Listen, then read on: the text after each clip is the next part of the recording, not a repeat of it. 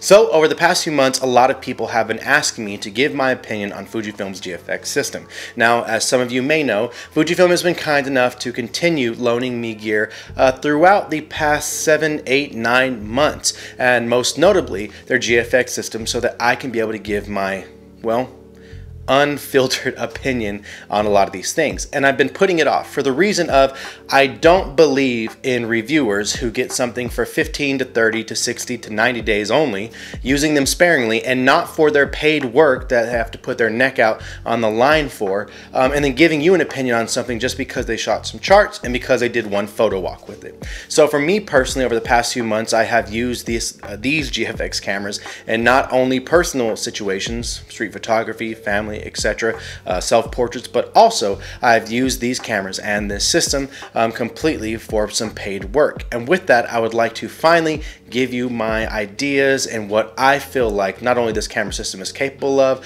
what the future of it will look like, and who it's for, but also just give you a non-bullshit idea of what you're getting yourself into. So unlike a lot of other videos to where I'm able to go off the top of my head, I've actually been taking notes on the GFX system. And there's some things I'm gonna get into, there are some things and questions that I'm going to answer that people have asked me. And just to give you guys a heads up, this is not gonna be a video with a whole bunch of B-roll and things like that. And uh, I might put up, I'm probably going to put up a lot of the photos I've taken, but this isn't necessarily going to focus on just those things because I believe there's so much more to the nuances of the camera and the bodies. I'll go into that, I'll go in specifically into the bodies that I've used, and I won't make any judgments or opinions on bodies or lenses that I feel like I didn't have long enough in order to give you the full scope of everything, but I'll give you a general understanding of not only the value you're getting into, but also how it stands against other camera systems. Now, there are going to be three people that are going to automatically off the bat from my first few statements hate uh, me and this video and leave negative comments down below. Number one, it's full frame fanboys and people that have to put their whole personality into the fact that their camera has uh, eye autofocus and it does everything for them. If you're a full frame fanboy, beware. Also, if you're a bokeh whore and someone who has to shoot everything wide open, and to you, that's the style you like, but you like to put pressure on others and make them believe that if they don't shoot like you, then their lenses or their body or their work isn't as nice as yours, you're also going to hate this. And the last person who's going to hate this are GFX fanboys themselves and people that are in the GFX system um, that I believe potentially may have wasted their money on the GFX uh, FX system, GFX system, but I'll get in that a little bit further. So to start off with, um, I've used the Fujifilm GFX system for about seven months now. And here are my thoughts. First thing I want to start off with, because this is going to take the majority of the time explaining, and that is autofocus. When it comes to the autofocus, it's just fine. It's way better than Panasonic, what they've been doing, and it's as snappy as the pre-firmware update for the XH1 which if any of you need to know what that is, it's about on par with Canon EOS R before its original update and the Sony a7 II before its up or after all of its updates before the release of the a7 III. The cameras with phase detect autofocus that I've used, um, a la the GFX 100S, does focus a little bit better than let's say the newest GFX 50S2. And that is attributed to the phase detect autofocus. The fact that the eye autofocus is sticky and moves around with the subject or with multiple times that I was using it would see that it would pick a subject out of a group and be able to stick on that one eye and move around with it to be able to determine focus. There's a lot of good things that come out of this. Now, it is not the fastest autofocus. You're never gonna, you're never gonna get Sony A1 uh, speed, Canon R3 speed. You're never gonna get Nikon Z9 speed. You're never even gonna get, at this point in time, uh, Fujifilm X-T4 speed. But one thing to keep in mind is who this camera system is for really. If you're planning on shooting sports photography and things like that, this system may not be for someone who's shooting something that is during mid-play, meaning during the action. Now pre-snap, post-snap, um, you know, while a batter's in the batter box, uh, pitcher going through his windup, uh, maybe people are setting up on the pitch um, during a corner kick or something like that, uh, timeout during the court, people shooting free throws, um, even someone coming on a fast break if you stop down a little bit or know how to choose your point. These cameras, all of them, including including the, the contrast detect autofocus ones like the GFX 50R and the 50S2 and the 50S, they're gonna do just fine. But just me being honest, whenever I did track like my dog running around playing fetch and things, I got some shots, but I did miss a few because he's running at zoomy speed. So it's it's it's a little bit of you have to know what you're using it for. I'm never gonna say that anyone should go uh, and take a GFX camera and go out and shoot, shoot sports. And majority of you who are looking at GFX cameras, that's not the direction you're looking to go. And so you have to know yourself, you have to be honest with yourself, and you can't bitch about limitations in something whenever apparently you don't know the correct gear to purchase for the work that you're doing. Um, so when it comes to autofocus, listen, autofocus to me, it is never a big deal whatsoever. Um, and I never have relied on eye autofocus. Even right now, whenever I'm shooting, whether it's with my X100V, is the X Pro 3, whether it's the EOS R, whether it was my A7 III, I still prefer to not rely specifically and only on autofocus for shooting.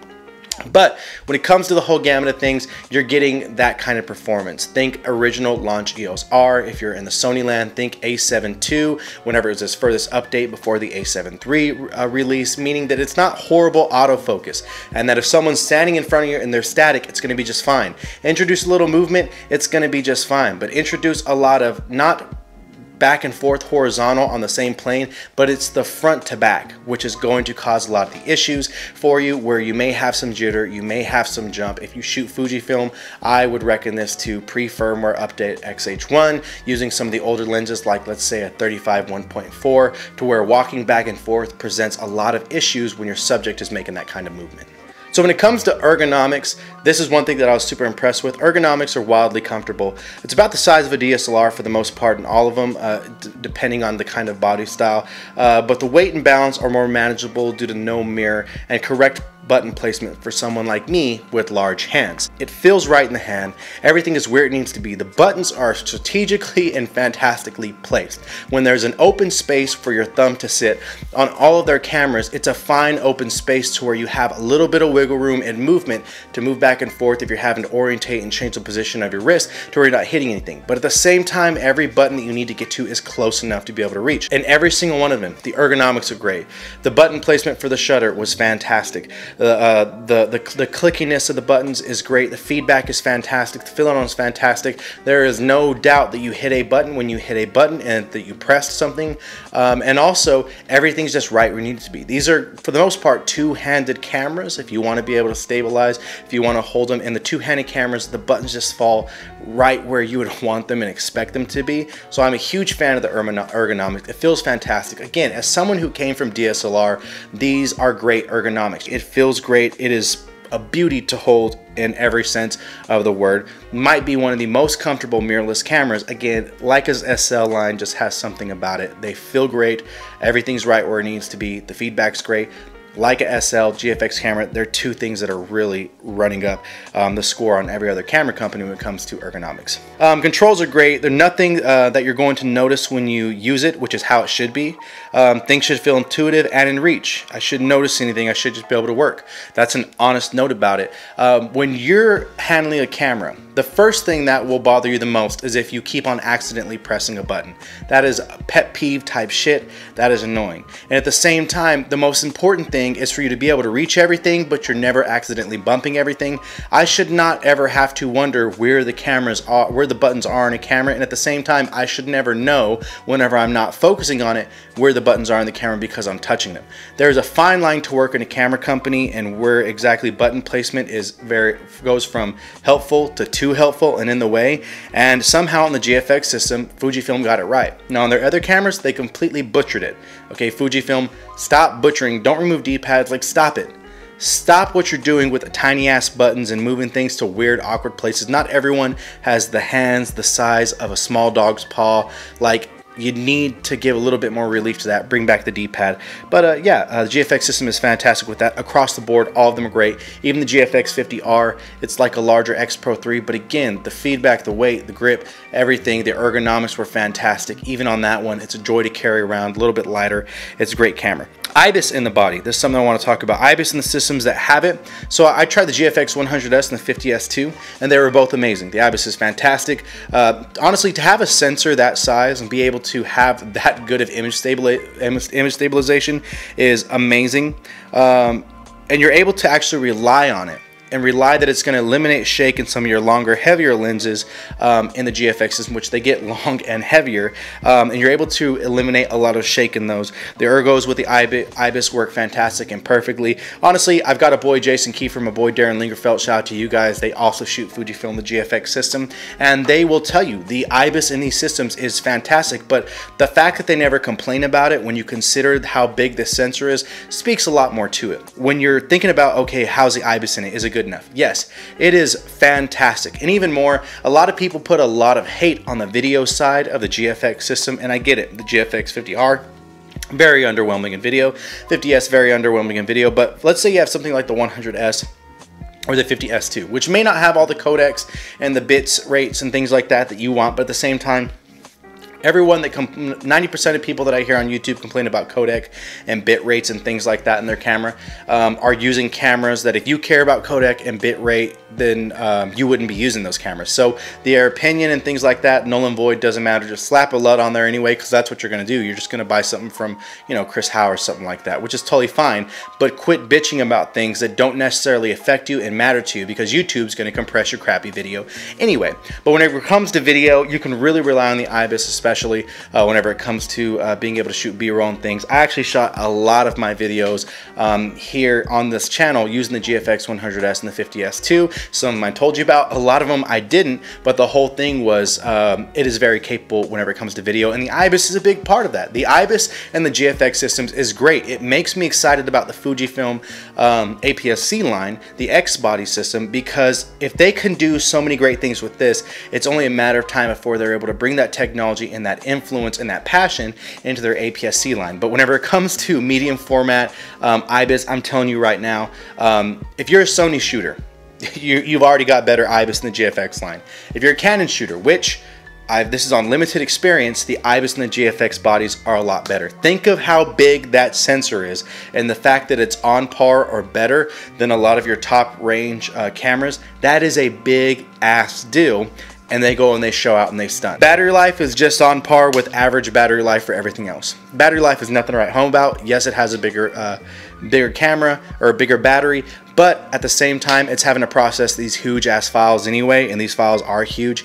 Um, I didn't really notice any take on battery life. Every time I use a GFX system, I shot no, no more, or I shot around 30 to 60 shots, no more than that. So it's not like I was really out there all day, every day. But there were times where I could go three to four days. I was shooting back to back to back, and I didn't have to charge the battery until maybe that fourth or fifth day whenever I see the blinking light, maybe if I'm shooting a video. So at the same time, it's not like, um, you know, it's it's not great but it's never going to be bad. So whenever it comes to um, that, also with the huge files, um, there's a reason for that huge file size. Um, this is a fantastic, um, you know, sensor.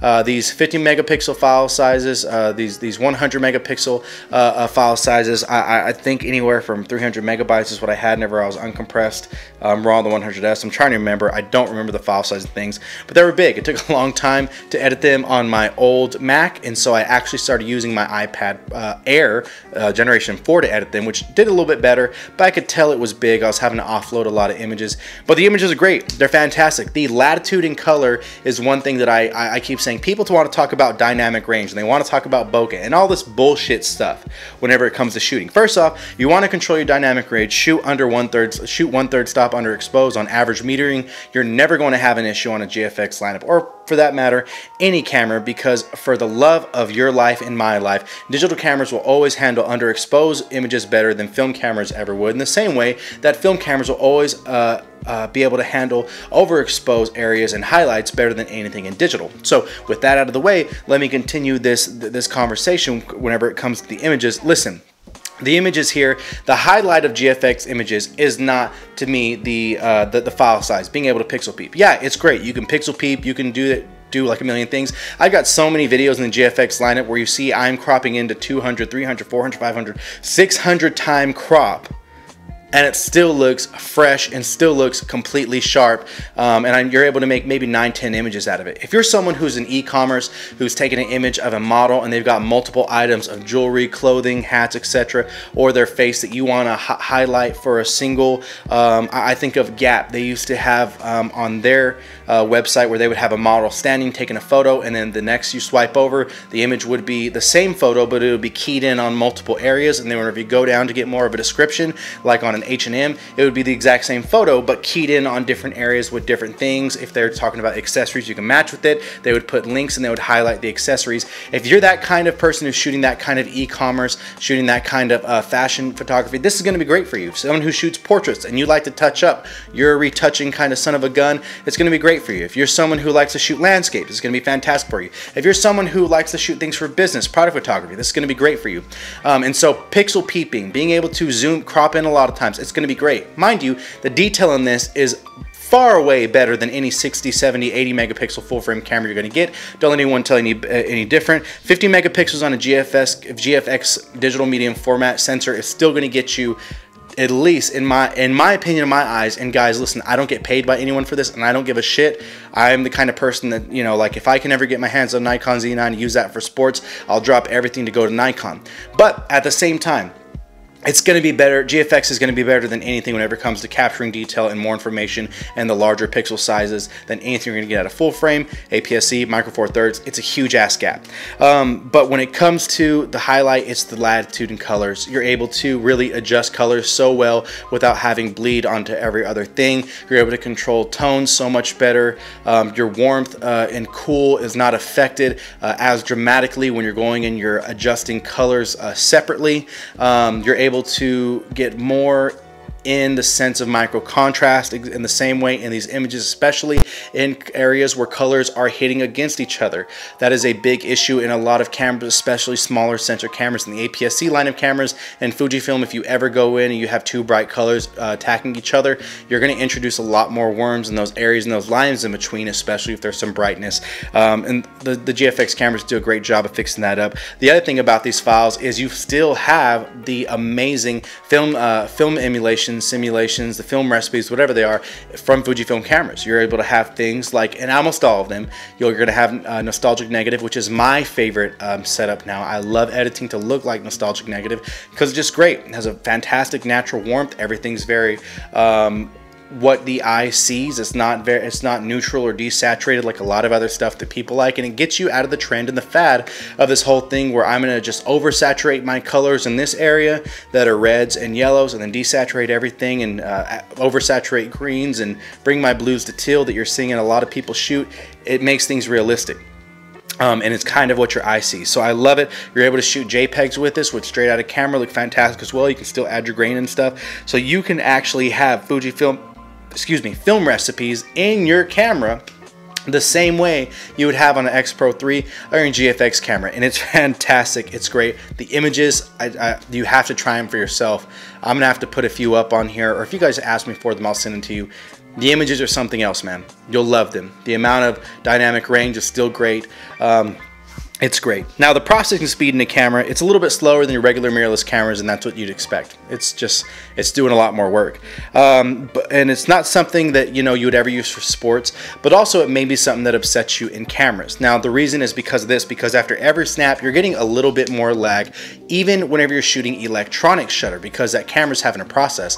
Where does that affect you most? in your focus. So yes, again, if people are going horizontal side to side, you're able to capture a little bit more and it's not as noticeable, but that's why the walking back and forth is such an issue because the lag in processing. And this is just me being honest. Listen, if you're shooting weddings at this point right now and you were to get a GFX camera, I would get a GFX 100S or a 50S2 and that's it. Reason being is because if you want that to be your full-time wedding um, camera, you're either going to have to do a complete workaround on the fact that coming front to back, the focus may not be that great. You're going to have to learn how to shoot um, stop down a little bit, which I know that offends a lot of people. Um, but even more than that, um, the issue is just the the the I mean, it's not buffering; it's just the processing. It's a lot of processing, especially if you're shooting. Um, you want to have JPEGs and RAW. You want to put a little bit of grain into it. You want to make slight adjustments to your film simulations. I mean, it, it takes a lot. It is a lot of work. It is taxing on the camera camera, the processors, no matter how good they are, it's still a digital medium format, which may not be as big as film medium format, but it's still a, a, larger sensor and it's having to read out a lot of stuff. Fujifilm is not there yet with the kind of readout speeds of a Sony A1 that and a, a chip and processing like that and a medium format camera that would make it to where it shoots like that and it's a breeze. They're not there yet, but they're on their way and they're doing good. These are great iterations. I think if you get the 50S2 and the 100S, you're going to be happy whenever they release more and they're able to get firmware updates because you're probably going to see the benefits and cameras that are kind of really affordable, honestly, right now. They're cheaper than Leicas, cheaper than Sony Z camera, some of the I think the Z9, cheaper than an R3, I believe, um, uh, cheaper than some of the Panasonic cameras. I mean, the fact that you can get um, digital medium format for so cheap that gives you a better quality image. Now the performance may not meet be, on par with you, but the image is way better than anything you're gonna get from anything else, just me being objective. Um, even in your 60 megapixel M11s, even in your um, you know 70 megapixel, 80 megapixel, whatever um, A7R cameras, the GFX line, even at the 50 megapixel range, is gonna give you more detail, more clarity, more dynamic range, more micro contrast, and your ability to be able to jump deeper into an image, to be able to crop and still keep all that all those things with your resolution is higher than in any of those cameras. So um, there is that. The other thing to talk about is just the lenses. The lenses are great, but they're heavy as shit. Okay, you're not gonna be able to fit as many in your bag, and they're probably gonna you know upset you. The, the, zoom lenses are nice because even though they may not be as fast wide open, they focus a lot quicker actually than the prime lenses. I'm not sure if it's because the motor's in there or what, but the zoom lenses focus for the most part better than the prime lenses, except the GFX 50, uh, or sorry, the GF50 uh, 3.5, which is a 40 millimeter. If you shoot the smaller sensor size and full frame, the tiny full frame sensor, um, which is a more of a 42.8 to that, um, is probably their fastest lens out right now. It's a fantastic lens, tack sharp, it's a go everywhere lens. It's small enough. You put that on the 50R and you're walking around with basically, um, you know, the perfect point and shoot camera if you want high resolution or the perfect camera to be able to shoot street, street with if you want to make big, large prints. Um, it's, it's a great camera. It's an all around camera. It's a versatile camera. You're still getting a great amount of bokeh. I did a full shoot with it with, with, with, a, with a client of mine um, for his album covers and uh, and yeah it's fantastic. It's a great lens. You're getting so much detail. Again the color is great. I love that camera and I love that lens combination. But lenses are great. They're tack sharp. They're fantastic. But there is one thing that's been talked about and it's been depth of field in bokeh. Yes you can reach the exact same depth of field as you as you can in a GFX camera. You can recreate it if you're able to uh, you know stop down or find a uh, full frame camera with the you know a similar uh, depth of field once you do conversion. Yeah you can make them look exactly the same in the same way that if I I can drive my Bugatti at 30 miles an hour the same way a Honda Civic can drive a, uh, at 30 miles an hour. And if I was to race those um, and they could only both go 30 miles an hour they're probably going to tie. So it's the exact same sense. You see you've got one thing that's great on gas mileage um, you know that's going to uh, you know get the job done. Maybe doesn't accelerate too too fast but you know what? It'll get you point A to point B and it'll do everything you want want to do. And then you have one that's built for sport and luxury and built for something niche that you're maybe not taking out all the time or that is actually supposed to be vroom vroom fast. That can go probably about, you know, um, it could probably beat it in a, in a heads up race. But if you cripple them both to 30 miles an hour, you're going to be at 30 miles an hour regardless. They're going to finish the same pace. And that's the same way whenever it comes to the topic about the lenses in these systems. Yeah, you're not going to get as great as Bokeh. No, there's not a 1.2 GFX uh, lens uh, in the system right now. But at the same time, who gives a shit? Who cares? Since when did bokeh become the gold standard for, for professional photos? And all that tells me is you don't understand photography.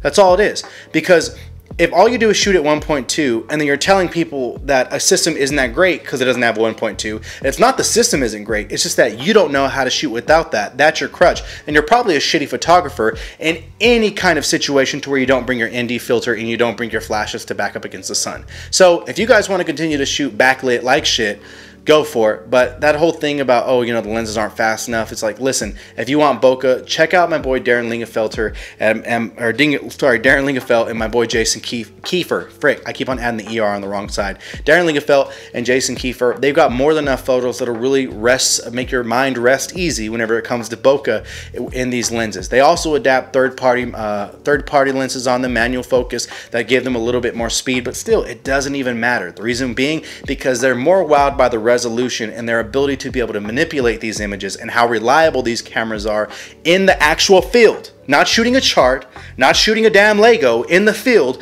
than anything else. And that's the last thing that I want to get into when it comes to GFX system. Listen, if you choose to buy this camera system, I don't think it's for everyone.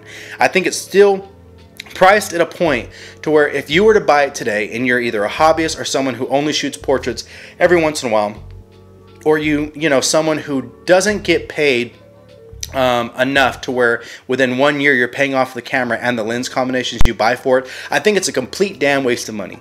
Buy an EOS R, which is the hands down flat best deal. The EOS R systems, the RF mount lenses, they're 50, they're 35, and they're 85 that are their more budget um, type comparing that up with a Canon EOS R is by far the best deal you can get right now. 30 megapixels, it's pretty good after an update. When it comes to taking stills, the images really never looked bad. I always loved my EOS R images it's hands down the best thing that you can buy on the market. I, I, I refer I refer uh, more than buying an XT3, um, uh, more than buying an XT4 for the simple reason is I'm seeing them at $950 on Facebook marketplaces, um, sometimes packaged with one to two of those Fujifilm or those Canon lenses like the 51.8 and 35 1.8 for $1,400. That is a steal for what you're getting. You're getting a fantastic camera with a fantastic uh, a couple of lenses. That's a good deal. Now, with me saying that, if you're someone who is doing the things like I mentioned earlier, e-commerce, fashion, you're shooting a lot of portraits, maybe you're someone who wants to make the step because you're shooting a lot of product photography and you want to get uh, better product shots. Maybe you're shooting something that needs to have, uh, uh, you know, full-size printouts, banners that you're hanging down, sports photographer, etc. And you're doing a lot of sports portrait yeah, the camera's the camera's fine. The camera's good for you. If you can make your money back. Remember, guys, I always care more about are you making wise spending decisions than I do is the camera cool. Because the camera being cool, the technology being cool doesn't mean shit. You can buy a Sony A1 right now, and if all you're doing is shooting your kid running around the yard and you're using it three times a week, or let's say it's even worse and more realistic. Let's say you're using it five to six times a month.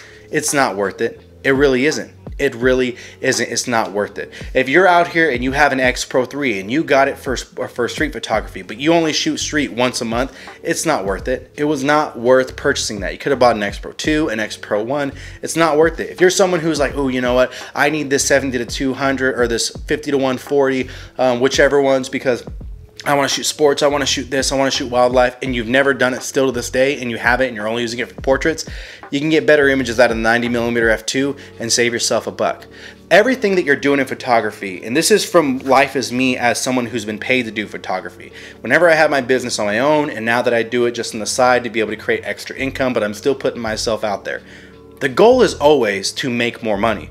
In the words of Kobe Bean Bryant, rest in peace, the always is the goal is always to not take a pay cut. And when you're um, spending more money on cameras that you don't need that are going to do the exact same thing as something that you could have bought that is cheaper, you're taking a pay cut. Why buy this GFX system for its 100 megapixels when you don't have a monitor that'll show you the full 100 megapixels and you never print your images? Why would you do that? Why would you buy a GFX system and it's 100 megapixels when all you do is you shoot maybe two to three portraits a month and they're not even paid when you could have bought an XT2 and done the exact same shots? There's no need to do that.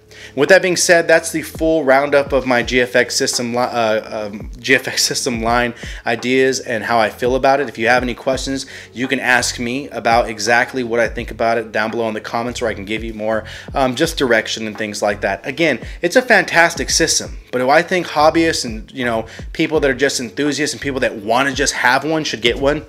Hell no, not at all. But have a good one.